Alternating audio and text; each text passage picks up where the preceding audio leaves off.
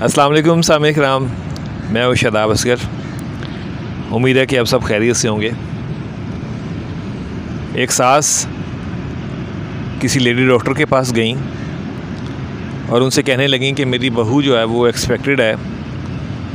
आपको ऐसी दवाई लिख के दें कि हमारे यहाँ बेटा ही पैदा हो। लेडी डॉक्टर ने उनसे कहा कि मेडिकल साइंस में या दुनिया के किसी भी जगह इलाज में कोई भी ऐसी दवाई आज तक जो है ना वो दरियाफ्त नहीं हुई, जिससे आप ये दावा कर सकें कि इससे बेटा ही पैदा होगा।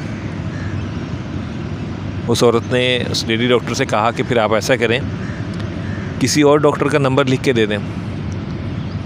तो लेडी डॉक्टर ने उनसे कहा कि शायद आपने मेरी बात गौर से नहीं सुनी। मैंने आपसे ये नहीं कहा कि मेरे पास वो दवाई नहीं है।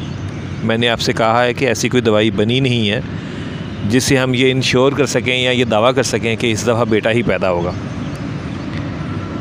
तो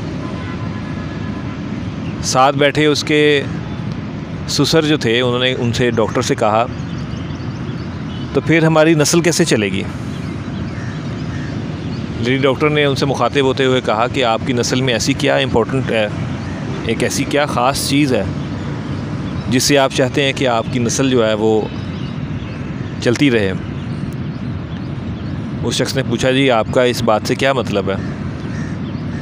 तो लेडी डॉक्टर ने कहा कि, आपने देखा है कि साहिवाल में कुछ गायें हैं। वो सालाना जो है, वो दूध इतना ज़्यादा देती हैं। ये दुनिया के अंदर कई ऐसे जानवर हैं जो बहुत नायाब हैं। अगर दुनिया में उनकी सिर्फ़ एक ही नस्ल रह जाएगी तो दुनिया वाले ये सोचने पे मजबूर हो जाएँगे कि अब हम इनकी नस्ल को बढ़ाने के लिए क्या इकदाम करें। तो आप तो एक आम इंसान हैं, जैसे दूसरे इंसान इस दुनिया में बसते हैं। तो आपकी नस्ल में ऐसी कौन सी चीज़ है कि आप उसके लिए इतना ज़्यादा फ़िक्रमंद हो रहे हैं? तो उस शख्स ने कहा कि हम एक्चुअली ये चाहते हैं कि हमारा नाम ज़िंदा रहे। तो लेडी डॉक्टर ने उनसे कहा कि क्या आप मुझे अपने दादे का नाम बता सकते हैं? इस पे वो शख्स चुप कर गया। तो लेडी डॉक्टर ने उनसे नाराज़गी के लहजे में बात करते हुए ये कहा कि आपके दादे को भी यही फ़िक्र लाक होगी कि मेरा नाम कौन लेगा और आज उनकी नस्ल में उनका नाम भी किसी को मालूम नहीं है। आप गंगाराम, सर गंगाराम को देख लीजिए।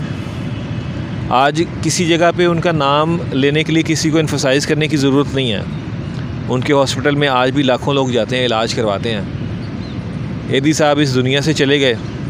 लेकिन उनकी खदमात और उनकी जो सर्विसेज़ थी, उनके नाम पे आज भी चल रही हैं। अलामा इकबाल ने जो भी कुछ किया है, निसाब में आज भी उनका ज़िक्र किया जाता है। तो उस लेडी डॉक्टर ने कहा कि आप जो है वो अपने अमाल इस तरह के करें कि आपको अपना नाम ज़िंदा रखने के लिए अपने घर ब्याई हुई बेटी जो ले के आए हैं, उसकी ज़िंदगी अजीरन ना करनी पड़े, ये कह के कि आपने बेटा ही पैदा करना है।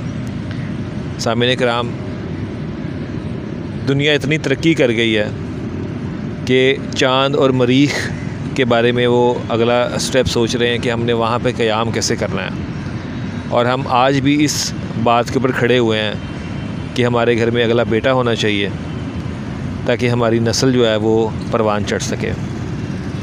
अल्लाह ताला ने अगर आपका नाम ज़िंदा रखना है तो वो आपकी अपने अमाल की वजह से भी रखेगा और आपकी बेटियों की अच्छी परवरिश की वजह से रखेगा।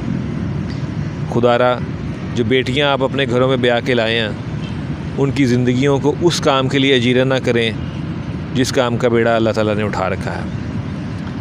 अपना और अपने साथ रहने वालों का ख्याल रखिएगा। आज के लिए इजाज़त दीजिए। अल्लाह सैदिना व मौलाना मोहम्मद व आला आलही व स्वाबही वबारिक वसल्लम वसल